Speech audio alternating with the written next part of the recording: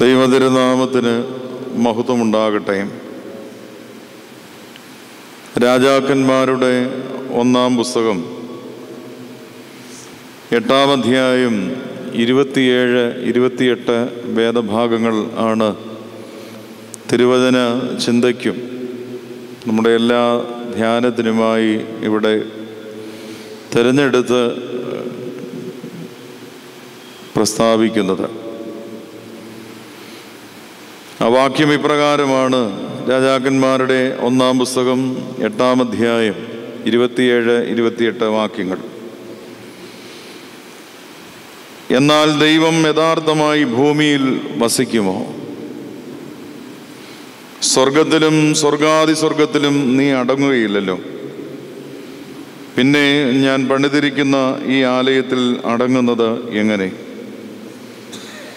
എങ്കിലും എന്റെ ദൈവമായ ഹോവേ അടിയൻ എന്ന് തിരുമുമ്പിൽ കഴിക്കുന്ന നിലവിളിയും പ്രാർത്ഥനയും കേൾക്കേണ്ടതിന് അടിയന്റെ പ്രാർത്ഥനയിലേക്കും യാചനയിലേക്കും തിരിഞ്ഞ് കടാക്ഷിക്കണമേ.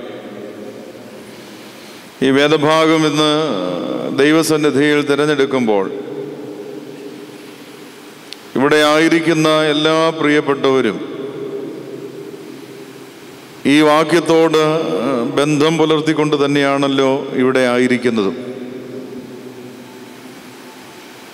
ഈ ശബ്ദപരിധിയും ഈ ശുശ്രൂഷയും ലോകമെമ്പാടും കേൾക്കുമ്പോഴും അപ്രകാരം തന്നെയാണ് തകർന്ന് നുറുക്കപ്പെട്ട് വിഷാദമുള്ള ഹൃദയങ്ങളായി ഓരോ സ്ഥലങ്ങളിലും ഇവിടെയുമൊക്കെ നാം ആയിരിക്കുന്നത് അങ്ങനെയെങ്കിൽ ഈ വാക്യത്തോട് നമ്മുടെ ജീവിതത്തിൽ നമുക്ക് ഒന്ന് നീതി പുലർത്തിക്കൊണ്ട് ആ വാക്യം നമ്മളെ എപ്രകാരം സ്വാധീനിച്ച് ഈ ഭാഗങ്ങൾ നമ്മെ നമ്മുടെ ജീവിതത്തോട് ഒരു ചരടായി ചേർത്ത് നിർത്തുന്നു എന്നുള്ളത് നമ്മൾക്കൊന്ന് ചിന്തിക്കാം. വിശുദ്ധ കുർബാന തുടങ്ങുന്നതിന് മുമ്പ് കാർമികനായ പുരോഹിതൻ പരിശുദ്ധ മദ്ബഹായിലേക്ക് പ്രവേശിച്ചിട്ട് ബലിപീഠത്തിന്റെ മുൻപിൽ നിന്ന് പുരോഹിതൻ പ്രാർത്ഥന ചൊല്ലുന്നുണ്ട് രഹസ്യ പ്രാർത്ഥനകളായി ചൊല്ലുന്നുണ്ട്. ആ പ്രാർത്ഥന ഇപ്രകാരമാണ്. ലോകം മുഴുവന്റെയും പാപപരിഹാരത്തിനും രക്ഷയ്ക്കും വേണ്ടി തന്റെ പിതാവിന് സ്വീകാര്യ ബലിയായി സ്വയം സമർപ്പിച്ച വെടിപ്പുള്ള നിർമ്മല കുഞ്ഞാടായ മെസ്സിയാതപുരാനെ നിനക്ക് പ്രീതികരവും ഞങ്ങൾക്ക് വേണ്ടിയുള്ള നിന്റെ ബലിയർപ്പണത്തിന് അനുരൂപവുമായി ജീവനുള്ള ബലിയായി ഞങ്ങളെ തന്നെ സമർപ്പിക്കുവാൻ ഞങ്ങളെ യോഗ്യരാക്കണമേ. ലോകം മുഴുവന്റെയും പാപപരിഹാരത്തിനും രക്ഷയ്ക്കും വേണ്ടി തന്റെ പിതാവിന് സ്വീകാര്യപരമായി സമർപ്പിച്ച സ്വയം സമർപ്പിച്ച വെടിപ്പുള്ള നിർമ്മല കുഞ്ഞാടായ മിശിയാതമ്പുരാനെ നിർമ്മല കുഞ്ഞാടുകളായി തീരുവാൻ രഹസ്യ പ്രാർത്ഥനയിൽ ബലിയർപ്പിക്കപ്പെടുന്ന സ്ഥലത്ത് നിൽക്കുന്ന പുരോഹിതനും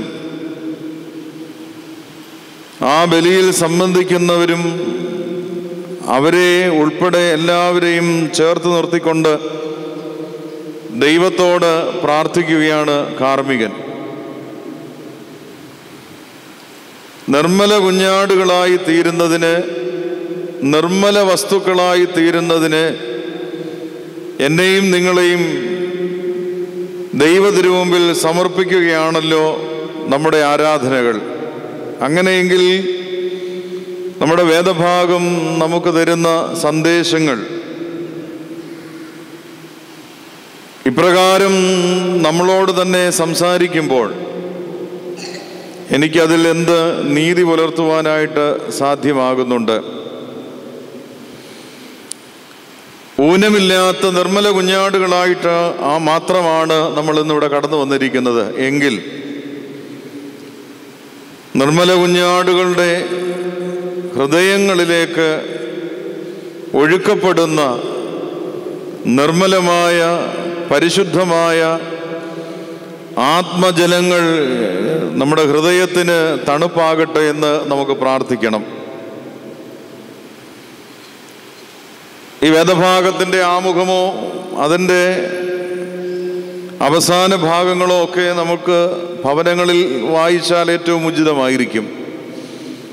രാജാക്കന്മാരുടെ ഒന്നാം പുസ്തകം എട്ടാം അധ്യായം ഇതിന്റെ ഇരുപത്തിരണ്ടാമത്തെ വാക്യം മുതൽ നമ്മൾ ശ്രദ്ധിക്കുമ്പോൾ ശലോമോൻ യഹോവയുടെ ആ യാഗപീഠത്തിന് മുൻപിൽ ഇസ്രായേലിന്റെ സർവസഭയുടെയും സമക്ഷത്ത് നിന്നുകൊണ്ട് ആകാശത്തിലെ കൈമലർത്തി പറഞ്ഞത് എന്തെന്നാൽ ശലോമോൻ സർവസഭയുടെയും സമക്ഷത്ത് ആ യാഗപീഠത്ത് യഹോവയുടെ യാഗപീഠത്ത് നിന്നുകൊണ്ട് ആകാശത്തിലെ കൈമലർത്തി പറഞ്ഞ ഭാഗമാണ് വേദഭാഗം ഇന്നത്തെ ധ്യാനത്തിനുള്ള ഭാഗം.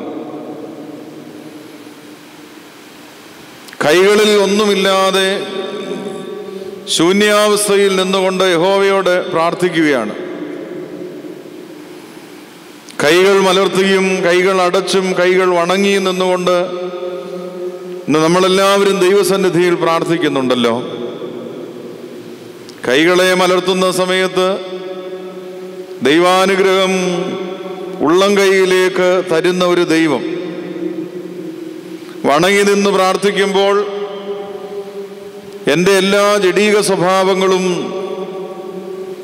ഞാൻ വണങ്ങുന്നത് എന്റെ ശിരസ്സും എന്റെ കൈകളും കൊണ്ടാണെങ്കിൽ എന്റെ എല്ലാ ജഡീക സ്വഭാവങ്ങളും ജഡീക പ്രവൃത്തികളും നിന്റെ മുമ്പിൽ സമർപ്പിക്കപ്പെടുന്നു. ഞാൻ മുട്ടുമുടക്കിയാണ് നിന്നിൽ നിന്റെ സന്നിധിയിൽ പ്രാർത്ഥിക്കുമ്പോൾ ഞാൻ നിലത്തോളം വണങ്ങി നിന്നോട് പ്രാർത്ഥിക്കുകയാണ്. ഞാൻ കുമ്പിട്ട് പ്രാർത്ഥിക്കുകയാണ്. ഭൂമി വരെ കുനിഞ്ഞ് നിന്നോട് പ്രാർത്ഥിക്കുകയാണ്. നിലം വരെ കുനിഞ്ഞ് പ്രാർത്ഥിക്കുകയാണ്. എന്തിനു വേണ്ടി? ശൂന്യമായ എന്റെ ജീവിതത്തിലേക്ക് ശൂന്യമായ അവസ്ഥകളിൽ നിന്ന് മാറി ഒരു നിറവുണ്ടാകുവാൻ നാം പ്രാർത്ഥിക്കുകയാണ്. ശൂന്യമായി പാഴും ശൂന്യമായി ഭൂമി സൃഷ്ടിച്ചുവെങ്കിൽ പാഴും ശൂന്യമായ ഭൂമിയിൽ എല്ലാ നിറവുകളെയും നൽകിക്കൊണ്ടാണ് യഹോവയായി ദൈവം ഈ ഭൂമിയെ സൃഷ്ടിച്ചത്. പാഴും ശൂന്യമാണ്. പക്ഷേ പാഴായിരിക്കുന്ന സ്ഥലത്തെ നല്ലതാക്കാനായിട്ടാണ് മനുഷ്യനെ സൃഷ്ടിച്ചത്. ശൂന്യമായിരിക്കുന്ന അവസ്ഥയാ ആ ശൂന്യതയിൽ നിന്ന് ന്യൂനതകളില്ലാതെ ചിലതിനെ സൃഷ്ടിക്കുവാൻ മനുഷ്യനിൽ ബുദ്ധി കൊടുത്തു ദൈവം തമ്പുരാൻ. അപ്പോൾ പാഴും ശൂന്യമായ അവസ്ഥയിൽ നിന്ന് ഭൂമി നിറവായി തീരുകയാണ് അങ്ങനെ നിറവായി തീരുന്നു എങ്കിൽ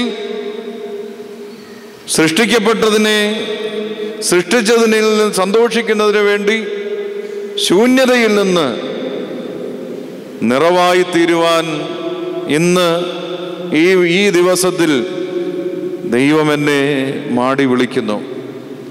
ആ വിളി നാം കേൾക്കാതെ പോകരുത്. ഞാൻ പ്രാർത്ഥനയിൽ ഓർപ്പിച്ചതാണല്ലോ.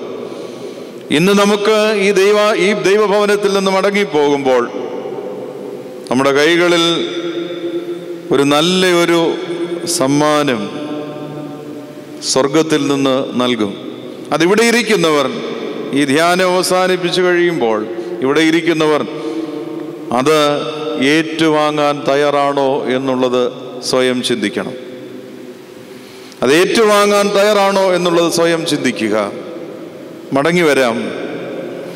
വേദഭാഗം നമ്മെ ഓർപ്പിക്കുന്ന മൂന്ന് ചിന്തകൾ ഇന്നത്തെ ധ്യാനത്തിനായി വിഷയീഭവിക്കുന്നു. ഞാൻ ഓർപ്പിച്ചതുപോലെ ജീവനുള്ള ബലിയായി സ്വയം സമർപ്പിച്ച നിർമ്മല കുഞ്ഞാടുകളായി നമുക്ക് തീരാം. ജീവനുള്ള ബലിയായി ഇന്ന് ഞങ്ങളെ നിന്റെ സന്നിധിയിൽ സമർപ്പിക്കുവാനായിട്ടാണ് ഞങ്ങളെ ഞങ്ങൾ കടന്നു വന്നത്. അതിന് ഞങ്ങൾ യോഗ്യതയുള്ളവരാകണം.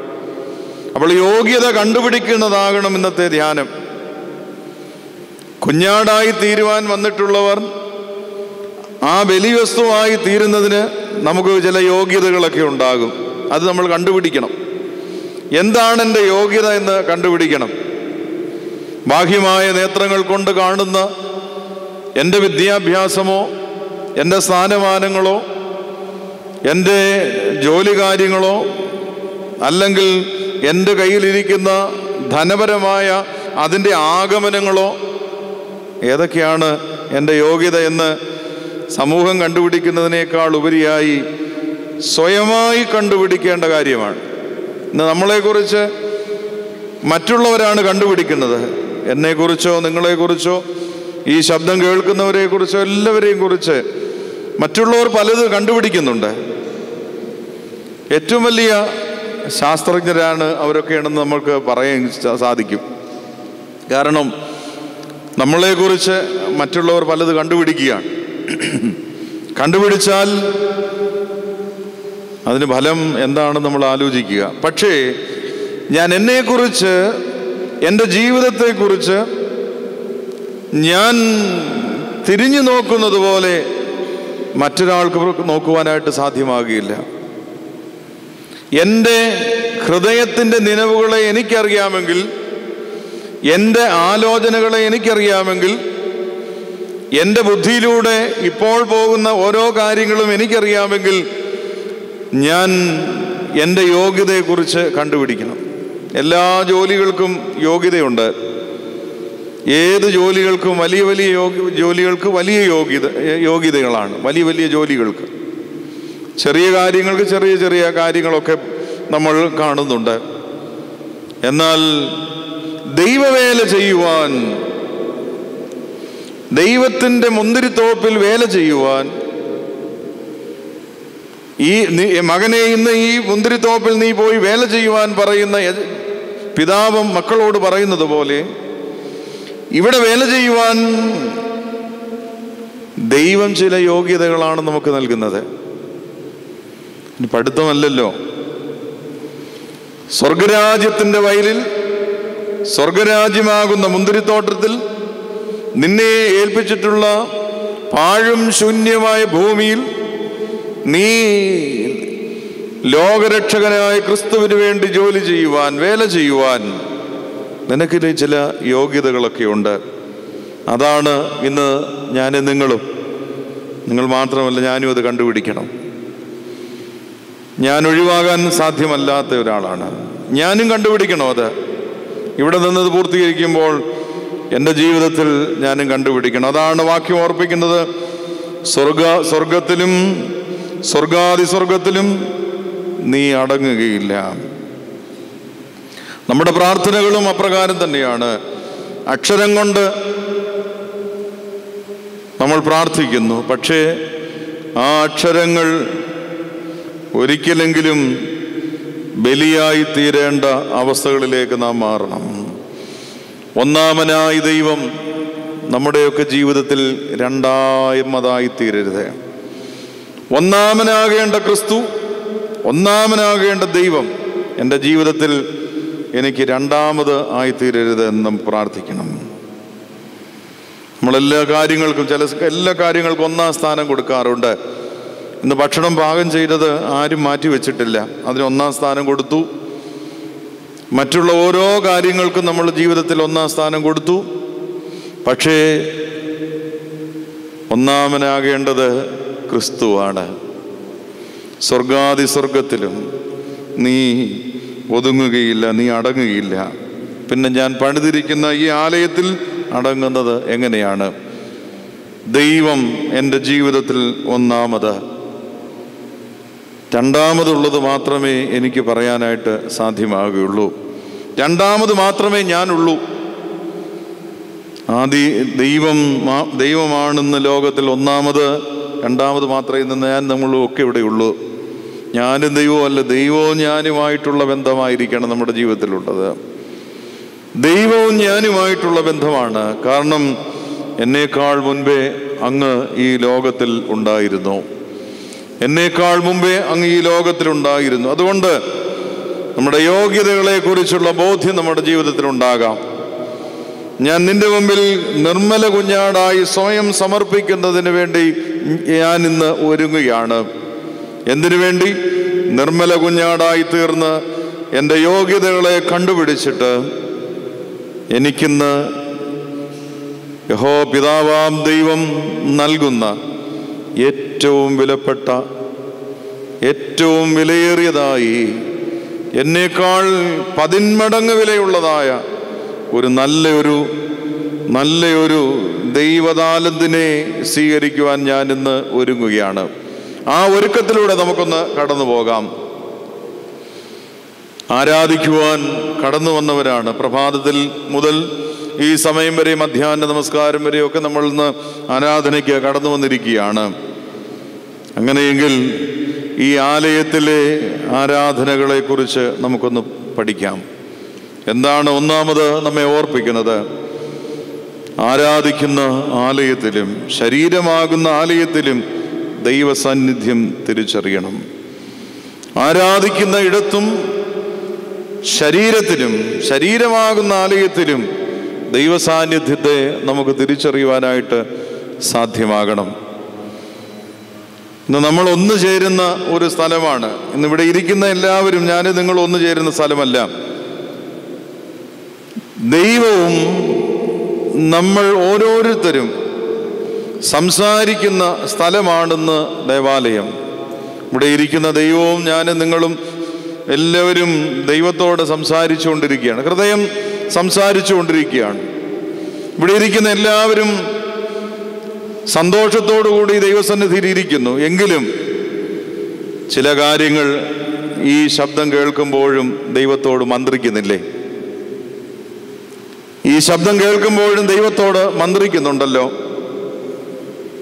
വലിയ രോഗങ്ങളാൽ കടന്നു വന്നിട്ടുള്ളവർ ഉണ്ടാകും. മക്കളുടെ ഭാവിയെ ഓർത്ത് കടന്നു വന്നിട്ടുള്ളവരുണ്ടാകും. കടബാധ്യതകളെ കൊണ്ട് വീർപ്പുമുട്ടിയിട്ടുള്ളവർ കടന്നു വന്നിട്ടുള്ള ഉണ്ടാകും. ആരും തുണയില്ലാതിരിക്കുന്നു എന്നുള്ള ഒരവസ്ഥയിൽ വന്നിട്ടുള്ളവരുണ്ടാകും. നാളെ ചികിത്സയ്ക്ക് എന്ത് ചെയ്യുമെന്നറിയാൻ പറ്റാതെ ഇരിക്കുന്നവരുണ്ടാകും. അനേകരുണ്ടാകും. നമ്മൾ അടുത്തിരിക്കുന്നവർ നല്ല രീതിയിൽ നല്ല വസ്ത്രങ്ങളൊക്കെ അണിഞ്ഞുകൊണ്ട് ഇരിക്കുന്നു. ആർക്കും ഒരു പ്രയാസമില്ല എന്ന് നമ്മൾ ആരും കരുതരുത്. എല്ലാവർക്കും ഉണ്ട്. അങ്ങനെയെങ്കിൽ ഈ ആരാധിക്കുന്ന ആലയത്തിൽ ശരീരമാകുന്ന ആലയത്തിലും ദൈവസാന്നിധ്യം ഉണ്ടാകണം. റോമാലേഖനം പന്ത്രണ്ടാം അധ്യായം ഒന്ന് രണ്ട് വേദഭാഗങ്ങളിൽ ഓർപ്പിക്കുന്നതും അപ്രകാരം തന്നെ.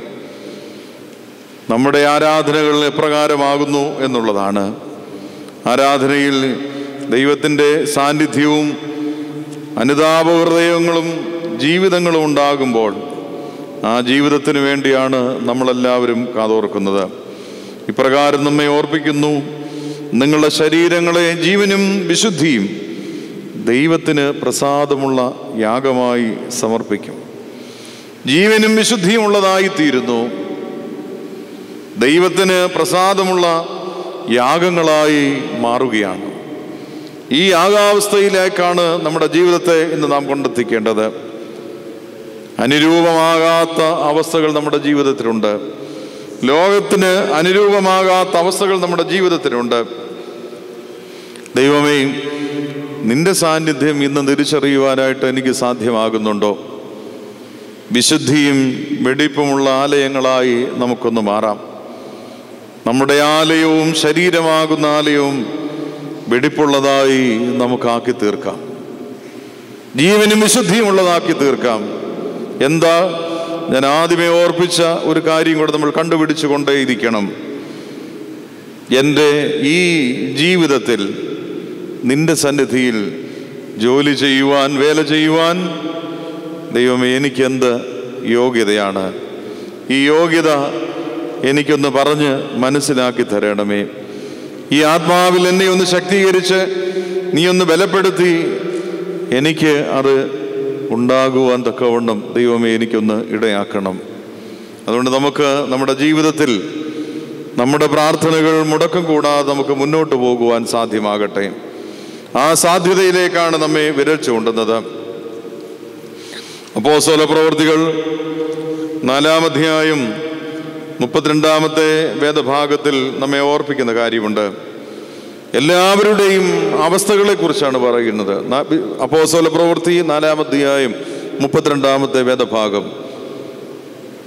അനേക കൂട്ടങ്ങൾ നമ്മുടെ ജീവിതത്തിലുണ്ട്. പക്ഷേ കൂട്ടായ്മകൾ ഉണ്ടോ എന്ന് നമ്മൾ ചിന്തിക്കുക. അനേക കൂട്ടങ്ങളുണ്ട്. കൂട്ടായ്മകൾ നഷ്ടപ്പെടുന്ന ലോകത്തിലാണ് ഞാനും നിങ്ങളും ജീവിക്കുന്നത്. അപ്പോസൽ പ്രവൃത്തി നാലാം അധ്യായം മുപ്പത്തിരണ്ടാമത്തെ വാക്യത്തിൽ ഓർപ്പിക്കുന്നു. വിശ്വസിച്ചവരുടെ കൂട്ടം ഏകഹൃദയവും ഏക മനസ്സും ഉള്ളവരായിരുന്നു. തനിക്കുള്ളത് ഒന്നും സ്വന്തമെന്ന് ആരും പറഞ്ഞില്ല. സകലവും അവർക്ക് പൊതുവായിരുന്നു. ആരാധിക്കുന്ന ആലയത്തിൽ ശരീരത്തിലും ദൈവം വസിക്കുന്നുവെങ്കിൽ ദൈവ സാന്നിധ്യം ഉണ്ട് ഉണ്ടാകുന്നുവെങ്കിൽ ഈ വെളിപാട് ഈ വാക്യം നമ്മുടെ ഹൃദയങ്ങളിൽ ഒന്ന് കുറിച്ചുകൊള്ളുക ഹൃദയബുദ്ധികളിൽ ഒന്ന് കുറിച്ചിടുക. വിശ്വസിച്ചവരുടെ കൂട്ടം അവർക്കുണ്ടാകുന്നത് ഏക ഹൃദയം ഏക മനസ്സ്. ഏക ഹൃദയവും ഏക മനസ്സും. കാരണം നാലു പേരുണ്ടെങ്കിൽ നാലു പേരുടെയും ആലോചന ഒന്ന്. നാലു പേരുടെയും ഇഷ്ടമൊന്ന് നാലു പേരും പോകുന്ന ഒറ്റ വഴി. നാലുപേരും ദൈവസന്നിധിയിൽ ഇരിക്കുന്ന ദൈവവിളിക്കുള്ള സമയം ഒന്ന്.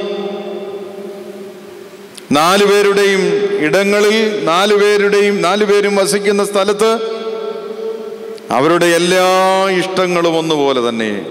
ഏക ഹൃദയവും ഏക മനസ്സും. ആധുനിക ലോകം മറന്നുപോയി ഈ വേദഭാഗം. ആധുനിക ലോകത്തിന് മറവി ഉണ്ടായിപ്പോയി എന്നാൽ പിൻതലമുറയിലുള്ള മനുഷ്യർക്ക് ഈ വേദഭാഗം ചില ഓർമ്മപ്പെടുത്തലുകളാണ്. ഓർമ്മപ്പെടുത്തലുകളാണ്. ഹൃദയവേദനയോടൊക്കെ പലരും പല സമയങ്ങളിൽ പറയാറുണ്ട് ഇങ്ങനെയായിരുന്നു ഞങ്ങളുടെ ജീവിതം. ഞങ്ങളുടെ എല്ലാ ഇഷ്ടങ്ങളും ഒന്നായിരുന്നു. ഞങ്ങളുടെ എല്ലാ പ്രവൃത്തികളും ഒന്നായിരുന്നു. ഞങ്ങളുടെ ജീവിതം ഒന്നായിരുന്നു. ഞങ്ങളുടെ ഭവനത്തിന് അതിർവരമ്പുകളില്ലായിരുന്നു. ഞങ്ങളുടെ ഭവനത്തിന് വലിയ വാതിലുകളില്ലായിരുന്നു. ചെറിയ വാതിലുകൾ മാത്രമേ ഞങ്ങളിലുള്ളായിരുന്നു കാരണം ഞങ്ങളെല്ലാവരും ഒരു മനസ്സിന്റെയും ഒരു ഹൃദയത്തിന്റെയും ഉടമകളായിരുന്നു. നഷ്ടപ്പെട്ടു പോയി. ഈ അവസ്ഥകൾ നഷ്ടപ്പെട്ടു പോയി. വീണ്ടെടുക്കുവാൻ ഞാൻ യോഗ്യനാണോ എന്നുള്ളത് ചിന്തിക്കണം. ഇത് വീണ്ടെടുക്കുവാൻ നമുക്ക് സാധ്യമാകുന്നുണ്ട്. ഇന്ന് ഈ പഴയ വസ്തുക്കൾ മനുഷ്യനൊഴികെ മറ്റുള്ള എല്ലാ വസ്തുക്കളും ഇന്ന് പലയിടത്തും നമ്മൾ സൂക്ഷിച്ചു വെച്ചിട്ടുണ്ട്. നമ്മുടെ ചിലരുടെ വീടുകളിൽ നമ്മുടെയൊക്കെ വീടുകളിലും സൂക്ഷിച്ചു വെച്ചിട്ടുണ്ട് പഴയ വസ്തുക്കൾ. ഇതില്ല എങ്കിൽ നമ്മൾ ഉപയോഗിച്ച പഴയ ചിലപ്പോൾ കാർഷിക ഉപകരണങ്ങളാകാം വലിയ ക്ലോക്കുകളാകാം മറ്റ് പല കാര്യങ്ങളാകാം. നമ്മൾ ഇന്നത്തെ തലമുറ കണ്ടിട്ടാണ് കണ്ടിട്ടില്ലാത്ത സാധനങ്ങളൊക്കെ നമ്മുടെ ഭവനത്തിൽ ഉണ്ടായിരുന്നു അതൊക്കെ ഇന്ന് നമ്മൾ പല സ്ഥലങ്ങളിൽ മ്യൂസിയങ്ങളിൽ പോയി ടിക്കറ്റ് എടുത്ത് കാണുകയാണ്. നമ്മുടെ കൈവശം ഉണ്ടായിരുന്ന സാധനങ്ങളാണ്. അതൊക്കെ നമ്മൾ പല സ്ഥലങ്ങളിലേക്ക് വലിച്ചെറിഞ്ഞിട്ട് അത് എങ്ങനെ ഉപയോഗിക്കണമെന്ന് മറ്റൊരാൾ ചിന്തിച്ച് നമ്മൾ കാണാൻ പോവുകയാണ് ടിക്കറ്റ് എടുത്ത് കാണുകയാണ്. മനുഷ്യനൊഴികെ ബാക്കി ഇന്ന് ടിക്കറ്റ് എടുത്ത് കാണാം. മനുഷ്യനെ കാണണമെങ്കിൽ ഏതവസ്ഥയിൽ കാണണമെങ്കിൽ ഏത് ഏത് സാഹചര്യങ്ങളിൽ കാണ കാണാനും നമുക്ക് സാധ്യമാകും. അവൻ ദരിദ്രനായി കാണാൻ സാധ്യമാകും സമ്പന്നനായി കാണാൻ സാധ്യമാകും അല്ലെങ്കിൽ അലയുന്നവരായി കാണാൻ മറ്റു രീതിയിലുള്ള മനുഷ്യരെ കാണാൻ അങ്ങനെ പല സാഹചര്യങ്ങളിൽ നമുക്ക് മനുഷ്യനെ കാണാൻ സാധ്യമാകും. എന്നാൽ മനുഷ്യൻ മനുഷ്യനെ കാണുമ്പോൾ മനുഷ്യൻ മനുഷ്യനോട് മനുഷ്യത്വം കാണിക്കുന്നുണ്ടോ എന്നുള്ളതാണ്.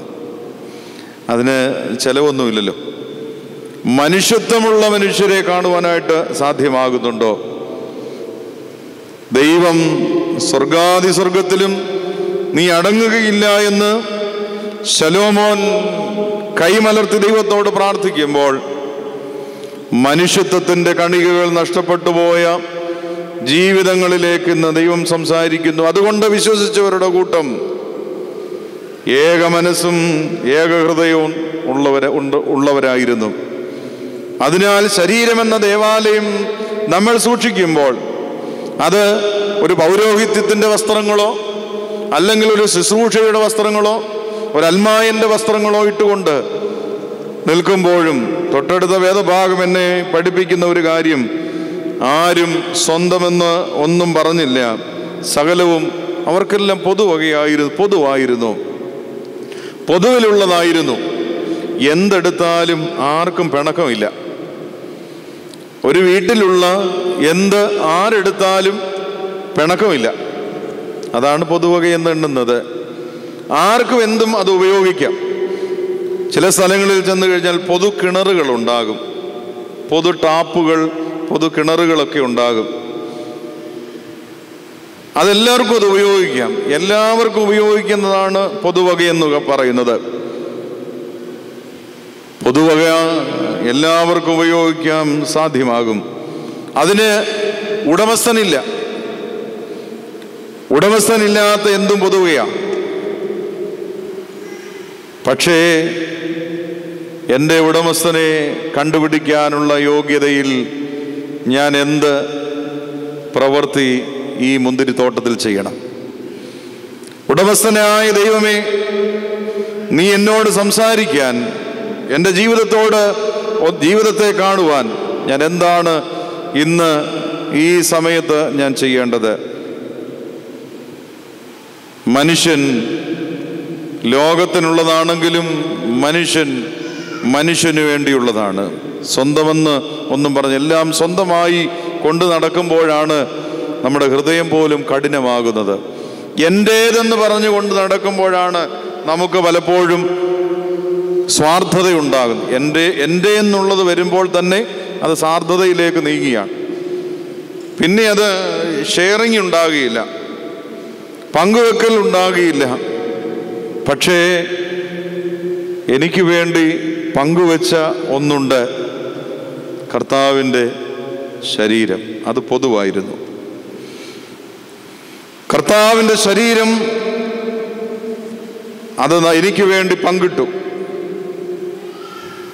ആ ഉടമസ്ഥൻ പിതാവെന്ന ഉടമസ്ഥൻ പുത്രനെ ഈ ലോകത്തിൽ നമുക്കെല്ലാവർക്കും പങ്കിട്ടു തന്നു. പങ്കിട്ട് തന്നപ്പോൾ വെറുതെ പങ്കിട്ടതാണോ? ഞാൻ ചെയ്തു പോയ തെറ്റുകൾ ഇല്ലാതെയാകുവാൻ ഞാൻ ചെയ്തു പോയ പാപങ്ങളില്ലാതാകുവാൻ ഞാൻ ചെയ്തു പോയ ദുഷ്ടതകൾ ഇല്ലാതാകുവാൻ അഹങ്കാരങ്ങൾ വക്രതകൾ ദുഷ്ടവിചാരങ്ങൾ ആലോചനകൾ എന്റെ നാവ് കൊണ്ട് പറഞ്ഞത് ഇതെല്ലാം എന്നിൽ നിന്ന് മാറ്റുവാൻ എന്റെ ദൈവം പുത്രനെ എനിക്ക് വേണ്ടി പങ്കിട്ട് തന്നു. ഈ പൊതുവക മാത്രമാണെന്ന് നമ്മൾ അനുഭവിച്ച് നടക്കുന്നത്. അതുകൊണ്ട് ദൈവത്തിന്റെ ആലയമാകുന്ന നമുക്ക് ശരീരമാകുന്ന ആലയത്തിൽ നമുക്കൊന്ന് ദൈവ സാന്നിധ്യം തിരിച്ചറിയാം എങ്ങനെ ദൈവ സാന്നിധ്യം തിരിച്ചറിയുന്നത്? ഏകമായിരിക്കണം മനസ്സ് ഏകമായിരിക്കണം ഹൃദയം പങ്കിടുന്ന അനുഭവമായിരിക്കണം നമ്മുടെ ജീവിതത്തിൽ ഉണ്ടാകുന്നത് അതുകൊണ്ട് ഈ ആലയം നമുക്ക് മറ്റൊന്നിലേക്ക് വഴിതെളിക്കാം. നമുക്കൊന്ന് പ്രാർത്ഥിക്കാം. പ്രാർത്ഥനയുടെ അനുഭവത്തിലേക്ക് നമുക്ക് കൊണ്ടുവരാം. പോസ്റ്റോൽ പ്രവർത്തികൾ ഒൻപതാം അധ്യായം പന്ത്രണ്ടാമത്തെ വേദഭാഗത്തിൽ ഇപ്രകാരം ഓർപ്പിക്കുന്നുണ്ട് അതിനൊരു പിന്നിലുള്ള ചില സംഭവങ്ങൾ ഉണ്ടാകുന്നുണ്ട്. ശൗലെ ശൗലിനെ യേശുദമ്പരാൻ വിളിച്ചുകൊണ്ട് പറയും നീ എന്നെ ഉപദ്രവിക്കുന്നത് എന്ത്? പറഞ്ഞുകൊണ്ട് പറയുന്ന വേദഭാഗങ്ങളാണ്. എന്നാൽ ഈ മനുഷ്യനെ അനന്യാസ് പത്താമത്തെ വാക്യം മുതൽ ഒൻപതാം അധ്യായത്തിന്റെ പത്താമത്തെ വാക്യം മുതൽ അനന്യാസ് എന്നൊരു ശിഷ്യനും ഡയമസ്കോസിലുണ്ടായിരുന്നു. അവനെ കർത്താവ് ഒരു ദർശനത്തിൽ അനന്യാസ എന്ന് വിളിച്ചു. കർത്താവെ അടിയനിത എന്നവൻ വിളി കേട്ടു. കർത്താവിനോട് നീ നീ എഴുന്നേറ്റ് നേർവീതി എന്ന തെരുവിൽ ചെന്ന് യൂതയുടെ വീട്ടിൽ തസോസുകാരനായ ശൗൽ എന്ന പേരുള്ളവനെ അന്വേഷിക്കാം. അവനെക്കുറിച്ച് പറയുന്ന ഒരു ഭാഗത്തെ ഓർപ്പിക്കാനാണ് ഞാൻ ഈ വേദഭാഗം ഓർപ്പിച്ചത്. ഒൻപതാം അധ്യായം പന്ത്രണ്ടാമത്തെ വാക്യം. അവൻ പ്രാർത്ഥിക്കുന്നു. ആ മനുഷ്യൻ പ്രാർത്ഥിക്കുന്നു. തർസോസുകാരന് ശൗൽ എന്ന പേരുള്ളവനെ അന്വേഷിക്കുക അന്വേഷിക്കുക. അവൻ പ്രാർത്ഥിക്കുന്നു. ഇന്നലെ വരെയും എന്ത് ചെയ്തു? പീഡിപ്പിച്ചു. മനുഷ്യരെ പീഡിപ്പിച്ചു. കൊന്നുകളഞ്ഞു. പക്ഷെ ഇന്ന് എന്തു ചെയ്യുന്നു? അവൻ പ്രാർത്ഥിക്കുകയാണ്. ഈ കാര്യങ്ങൾ ഓർപ്പിക്കുമ്പോൾ കർത്താവ് ഓർപ്പിക്കുമ്പോൾ ആ മനുഷ്യന്റെ പിന്നത്തെ അവസ്ഥയെക്കുറിച്ചൊന്നും പറയുന്നില്ല. കഴിഞ്ഞ കാല അനുഭവങ്ങളെ കുറിച്ചൊന്നും പറയുന്നില്ല. പക്ഷെ അവനിൽ കണ്ട നല്ലൊരു ഗുണത്തെക്കുറിച്ചാണ് പറയുന്നത്. അവൻ പ്രാർത്ഥിക്കുന്നു.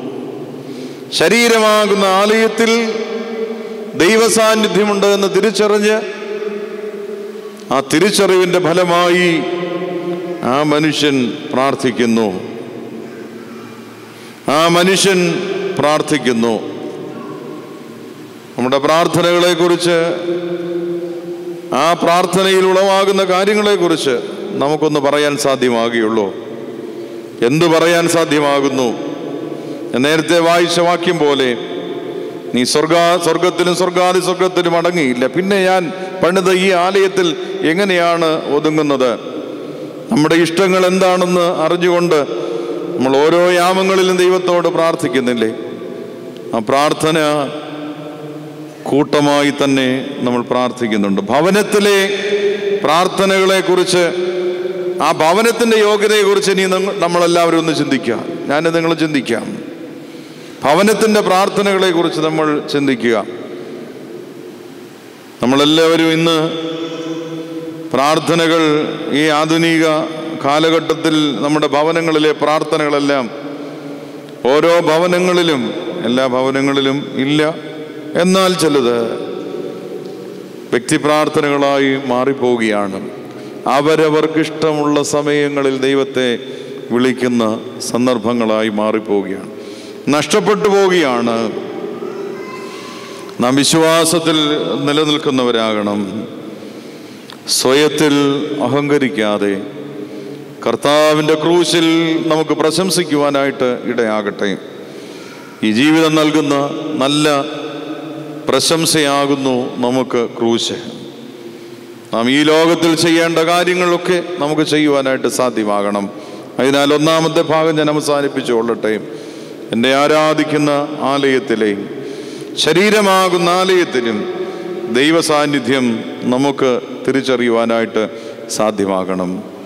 ഇന്ന് സ്വർഗം നമ്മുടെ അടുക്കലേക്ക് വന്ന് നമ്മുടെ ആഗ്രഹങ്ങളെ നൽകുന്ന ദിവസമാണ്. ഭയവും ഭീതിയും രോഗങ്ങളും രോഗത്തിന്റെ പെടാപ്പാടുകളുമൊക്കെ കടബാധ്യതകൾ എല്ലാം മാറ്റുന്ന ഒരു ദിവസമായി നമുക്ക് ദൈവം കാണുന്ന ദിവസമാകാം. നിന്റെ സാക്ഷിയായി മാറുവാൻ എനിക്ക് സാധ്യമാകണമേ. നിന്റെ സാക്ഷിയായി എനിക്ക് നീ തുണയായിരിക്കണമേ എന്ന് ദൈവത്തോട് നമുക്ക് പ്രാർത്ഥിക്കാം. നിന്റെ ആഗ്രഹങ്ങൾ നിന്റെ സമർത്ഥമായ കൃപകൾ എല്ലാം ഞങ്ങളുടെ മേലൊന്ന് വർഷിപ്പിക്കണമേ. നിന്റെ അനുഗ്രഹത്തിന് ശ്രീഭണ്ണാരും എനിക്ക് കൃപകളും നൽകുവാനായിട്ട് ഞാൻ ഒന്നാമത് പ്രാർത്ഥിക്കുന്നു. അതുകൊണ്ട് ഈ ശരീരമാകുന്ന ആലയത്തിൽ നിന്നുകൊണ്ട് എനിക്കെന്റെ യോഗ്യതകളെ ഒന്ന് കണ്ടുപിടിക്കുവാൻ സാധ്യമാകണം. അത് കണ്ടുപിടിച്ചെങ്കിൽ മാത്രമേ എനിക്ക് ഇനി മുന്നോട്ട് ജീവിക്കുവാനായിട്ട് സാധ്യമാകുകയുള്ളൂ. ആ സാധ്യതയിലേക്ക് നമുക്കൊന്ന് വിരൽ ചൂണ്ടാം. ആത്മാവിൽ നമുക്ക് ദൈവിക വെളിപാടുകളുടെ വേദാന്തോപദേഷ്ടാർത്ഥക്കളായി നമുക്ക് മാറുവാനായിട്ട് സാധ്യമാകണം. ആ വേദാന്ത വേദാന്തോപദേഷ്ടാക്കളായി നമ്മൾ മാറുമ്പോൾ മാത്രമേ നിന്റെ മുന്തിരിത്തോപ്പിൽ യജമാനന്റെ മുന്തിരിത്തോപ്പിൽ വേല ചെയ്യുവാൻ ഞാൻ എന്ത് യോഗ്യത നേടുമെന്നുള്ളത് ഞാൻ ചിന്തിക്കാൻ സാധ്യമാകുകയുള്ളൂ. രണ്ടാമത്തെ ഭാഗം ഇപ്രകാരം ഓർപ്പിക്കുന്നു. ശലോമോൻ ഹൃദയം തകർന്ന് കൈകൾ മലർത്തി പ്രാർത്ഥിക്കുന്നു. ഹൃദയം നുറുങ്ങിയ വാക്കുകളായിരുന്നു ദൈവം ദൈവത്തിന്റെ മുമ്പിൽ സമർപ്പിക്കപ്പെട്ടത്. വലിയ ചിന്തകൾ നമുക്കൊന്ന് പറഞ്ഞതുകൊണ്ട് അർത്ഥമില്ല. ഹൃദയം നുറുങ്ങിയ വാക്കുകൾ ദൈവം നിരസിക്കുകയില്ല. ഹൃദയം നുറുങ്ങിയ വാക്കുകൾ ഒരിക്കൽ പോലും ദൈവം നിരസിക്കുകയില്ല. അൻപത്തിയൊന്നാം സങ്കീർത്തനം പതിനേഴാമത്തെ വാക്യത്തിൽ ഓർപ്പിക്കുന്നുണ്ട്. തകർന്ന ഹൃദയം ദൈവമേ നീ നിരസിക്കരുതേ എന്നുള്ളതാണ്. തകർന്നു നുറുങ്ങിയുമിരിക്കുന്ന ഹൃദയത്തെ അവിടുന്ന് നിരസിക്കല്ലേ എന്ന് പ്രാർത്ഥിക്കുക. അത് മറ്റൊരാളല്ല. നമ്മൾ നമ്മൾ ആ വേദഭാഗം വായിക്കുമ്പോൾ ഞാനായിട്ടാണ് ആ വേദഭാഗം വായിക്കുന്നത് എന്നുള്ള ചിന്തയുണ്ടാകണം അവൾ മനുഷ്യന്റെ ജീവിതത്തിൽ ഇതെല്ലാം ഉണ്ടാകും. ഹൃദയം തകരുന്ന അവസ്ഥകൾ ഉണ്ടാകും. ജീവിതം തന്നെ തകർക്കപ്പെടുന്ന അവസ്ഥകൾ ഉണ്ടാകും. തകരുന്ന അവസ്ഥകൾ ഉണ്ടാകും. മനുഷ്യനെ മനുഷ്യൻ കൊലയ്ക്ക് കൊടുക്കുന്ന അവസ്ഥകളുണ്ടാകും. നിന്ദിക്കുന്ന അനുഭവങ്ങൾ ഉണ്ടാകും ഭോഷ എന്ന് വിളിക്കുന്ന അനുഭവം ഉണ്ടാകും മൂഢ എന്ന് വിളിക്കുന്ന അനുഭവം ഉണ്ടാകും പുതിയ ജനറേഷനുള്ള വാക്കുകളൊന്നും എനിക്ക് അത്ര പരിചിതമില്ല. അതൊന്നും നമ്മൾ പറയേണ്ട കാര്യമില്ല. എന്തെല്ലാം വാക്കുകൾ കൊണ്ട് മനുഷ്യൻ മനുഷ്യനെ ദിവസങ്ങളിൽ ദിവസം തോറും മുറിവേൽപ്പിക്കുന്നുണ്ട്. അത് മുറിവേൽപ്പിക്കുവാനായിട്ട് ഇന്നൊരാൾ വന്ന് മുഖത്ത് നോക്കി പറയേണ്ട കാര്യമൊന്നുമില്ല. നമ്മുടെ മുഖത്ത് നോക്കി വന്നതെന്ന് ഇപ്പോൾ ഇന്നത്തെ ലോകത്തിൽ ഒരാളുടെ മുഖത്ത് നോക്കി വന്നതെന്നുകൊണ്ട് നമ്മളെ മുറിവേൽപ്പിക്കേണ്ട കാര്യമില്ല. നമ്മളെല്ലാവരും സൂക്ഷിച്ചു വച്ചിരിക്കുന്ന നമ്മുടെ പോക്കറ്റിലുള്ള ഉപകരണം മതി. എവിടെ ഇരുന്നെങ്കിലും ഒരാളിനെ മുറിവേൽപ്പിക്കാൻ. അതിലെന്തെങ്കിലും മനുഷ്യന്റെ നെഗറ്റീവിന്റെ നെഗറ്റീവായിട്ടുള്ള കാര്യങ്ങൾ കുറിച്ചു വെച്ചാൽ മതി. മനുഷ്യൻ തകരും മുറിവേൽക്കും ജീവിതം തന്നെ തകർന്നു പോകും. എന്നാൽ സങ്കീർത്തനക്കാരൻ പറയുന്നു ദൈവം തകർന്ന ഹൃദയം നിരസിക്കുന്നില്ല. തകർത്തുകൊള്ളട്ടെ. ഹൃദയത്തെ തകർത്തുകൊള്ളട്ടെ എറിഞ്ഞുകൊള്ളട്ടെ. ചാട്ടമാറുകളാൽ അടിച്ച് അടിക്കട്ടെ. മുഖം തുപ്പലിൽ ഏൽപ്പിച്ചു കൊടുക്കണം. എല്ലാം ചെയ്യട്ടെ. പക്ഷേ തകർന്ന ഹൃദയം ഒരു നാളിലും ദൈവം നിരസിക്കത്തില്ല. തകർക്കപ്പെട്ടത് കൊണ്ടാണ് നമ്മൾ ഇന്നിവിടെ ഇരിക്കുന്നത്. ഹൃദയം തകർന്നു പോയി. ജീവിതം ഇനി മുന്നോട്ട് പോകാൻ സാധ്യമല്ലാതെ വരുന്നു. എല്ലാ വഴികളും അടയ്ക്കപ്പെട്ടവരുണ്ട്. ഇനി ഏത് വാതിലിലാണ് ഞാൻ മുട്ടുന്നതെന്ന് അഭയപ്പെടാനായിട്ട് സാധ്യമല്ലാത്ത പല വാതിലുകൾ ഉണ്ട്. എല്ലാം അടയുകയാണ്. ഇനി എവിടെയാണ് ഞാൻ മുട്ടി വിളിക്കേണ്ടത്? പക്ഷേ ഈ പ്രാർത്ഥന തകർക്കപ്പെട്ട ഈ ഹൃദയത്തോട് പറയുന്നു ആകാശത്തിന്റെ കിളിവാതിലുകൾ നിന്റെ മുമ്പിൽ അടയ്ക്കപ്പെട്ടിട്ടില്ല. ഭൂമിയിലുള്ള വാതിലുകൾ നിന്റെ സഹോദരങ്ങളുടെ വീടിന്റെ വാതിലുകൾ അടച്ചിരിക്കാം. സ്നേഹിതന്റെ വീടുകളുടെ വാതിലുകൾ അടച്ചിരിക്കാം. നീ ചെല്ലേണ്ട പല സ്ഥലങ്ങളിലും നിനക്ക് തടസ്സങ്ങൾ ഉണ്ടാകാം എന്നാൽ പ്രാർത്ഥനയിലൂടെ എന്റെ ദൈവം എന്നോട് പറയുന്നു ആകാശത്തിന്റെ കിളിവാതിലുകൾ നിനക്ക് മുമ്പിൽ തുറന്നിട്ടിരിക്കുക നീ കണ്ണു തുറന്ന് നോക്ക്.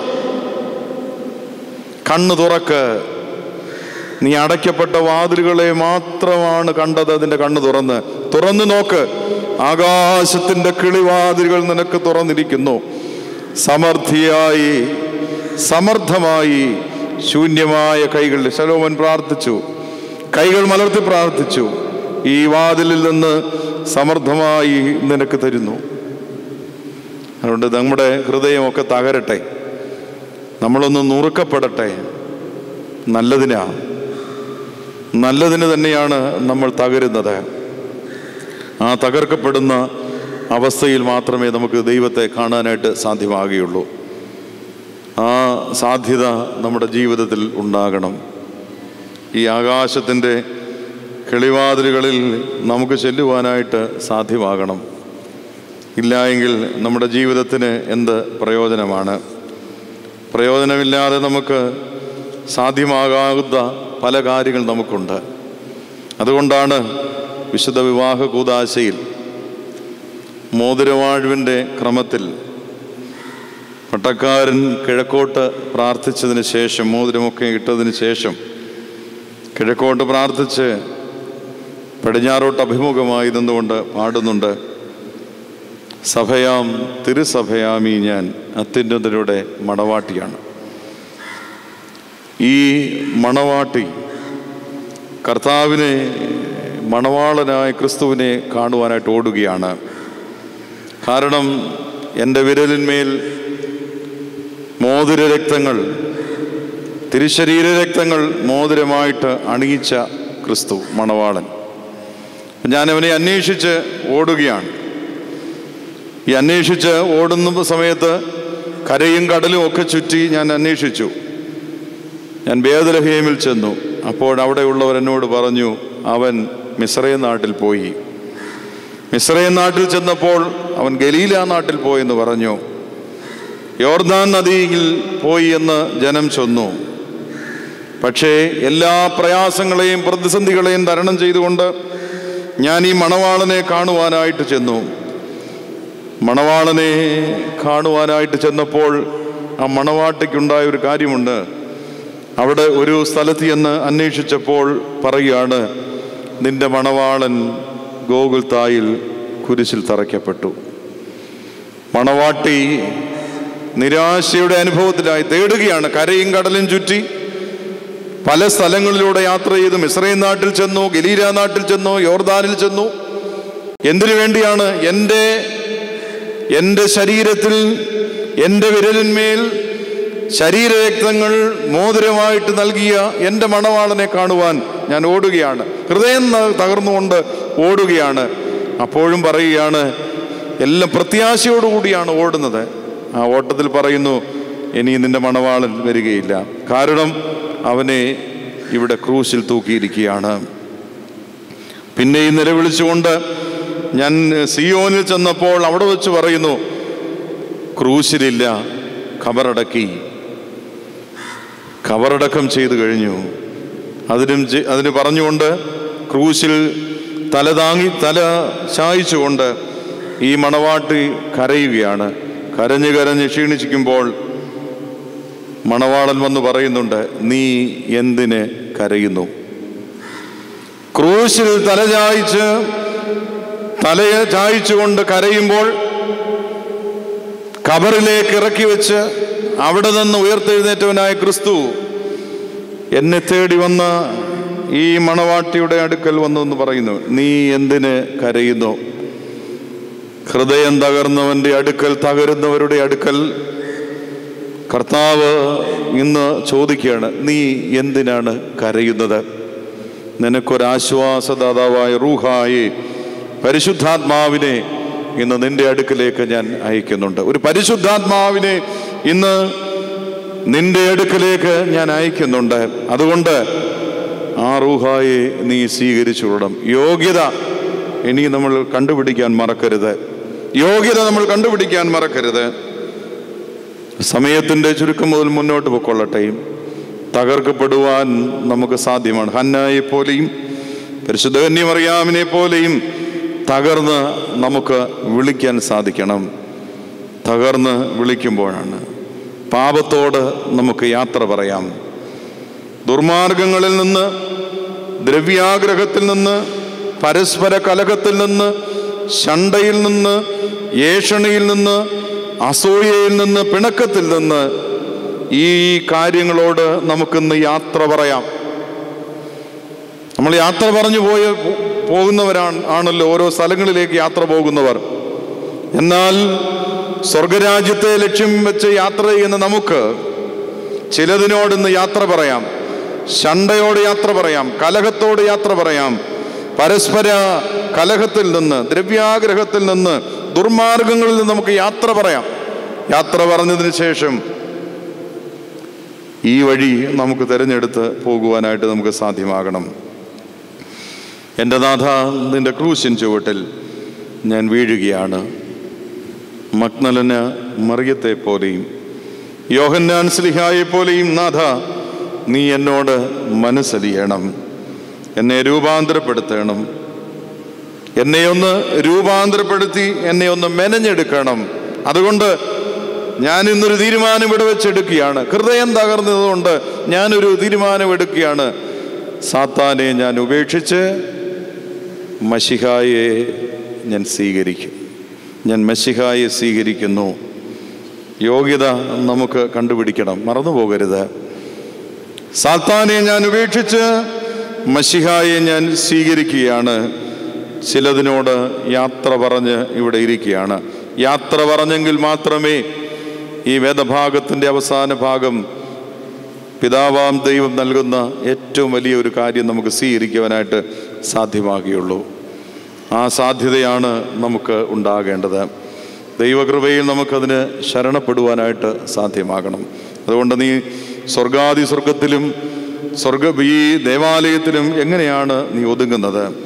ദൈവമഹത്വത്തെ കാണുവാനായിട്ട് നീ എങ്ങനെയാണ് ഒതുങ്ങുന്നത്? അതുകൊണ്ട് ഞാൻ നിന്നെ നിന്നോട് നിലവിളിച്ച് നിന്റെ കരുണകൾക്കായി ഞാൻ പ്രാർത്ഥിക്കുകയാണ്. ആ പ്രാർത്ഥനയിൽ നമുക്ക് കൂടുതലായി ബലപ്പെടുവാനായിട്ട് സാധ്യമാകണം. പിന്നെ മൂന്നാമത്തെ ഭാഗവും കൂടെ ഞാൻ ഓർപ്പിക്കുകയാണ്. മൂന്നാമത്തെ ഭാഗം ഇപ്രകാരം നമുക്ക് ചുരുക്കമായിട്ട് ഓർപ്പിച്ച് അവസാനിപ്പിക്കാം. ഇരുപത്തി എട്ടാമത്തെ വേദഭാഗത്തിന്റെ രണ്ടാമത്തെ ഭാഗം.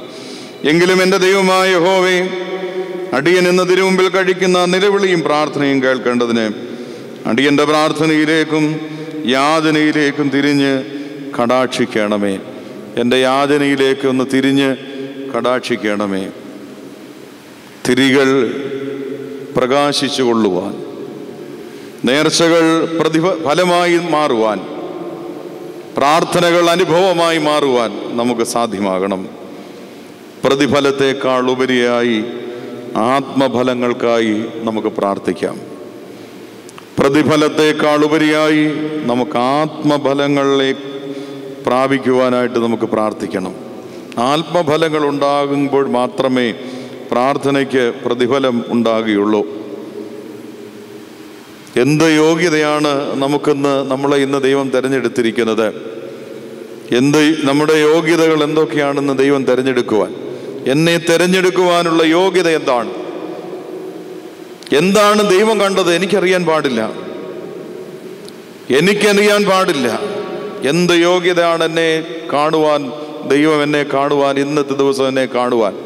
കാരണം ഇന്ന് ആരോഗ്യത്തോടെ ഇരിക്കുമ്പോൾ തന്നെ നാം ആലോചിക്കണം ദൈവം ഇന്ന് എന്നെ പരിപാലിച്ച ആ നിമിഷത്തെക്കുറിച്ച്. ദൈവം എന്നെ അപകടങ്ങളില്ലാതെ ഇന്നത്തെ ജീവിതത്തിൽ ഇന്നലെ വരെ കൊണ്ടുവന്നതിൽ എനിക്ക് എന്ത് യോഗ്യതയുണ്ടായിരുന്നു ദൈവമേ? എന്നെ സംരക്ഷിക്കുവാൻ എന്ത് യോഗ്യതയുണ്ടായിരുന്നു? എനിക്കൊരു ഭവനം തരുവാൻ ഞാൻ എന്ത് യോഗ്യതയുള്ളവനായിരുന്നു?